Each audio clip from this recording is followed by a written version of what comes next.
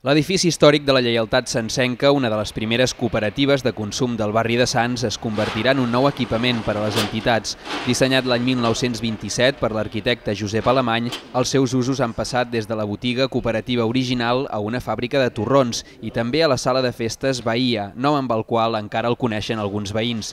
Un conjunt arquitectònic emblemàtic al barri amb elements catalogats i protegits que es mantindran dins del nou equipament modern, intel·ligent i sostenible. El repte era recuperar un edifici municipal, a posar-lo a disposició del barri, però mantenir amb el possible, amb un projecte arquitectònic diguem-ne, avançat i, i, i respectuós amb aquesta història, amb aquesta naturalesa, eh, amb, aquest, amb aquell lligam, amb aquest vincle que ha tingut el barri amb aquest edifici. Des que el projecte va començar l'any 2010 ha comptat amb la participació dels veïns i les entitats que n'han determinat les funcions segons les necessitats del barri.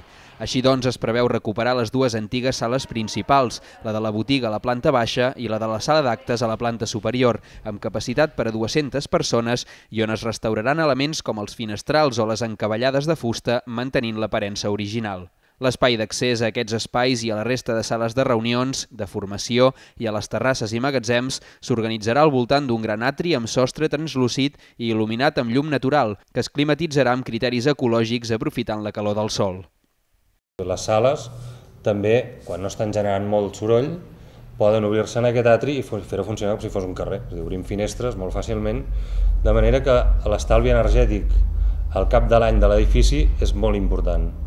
Tenim molt poca part climatitzada i molta part bioclimatitzada, per tant sense necessitat d'aportar-hi energia extra. Les obres que s'adjudicaran el mes de maig i duraran uns 21 mesos compten amb una inversió de 4.400.000 euros de l'Ajuntament de Barcelona.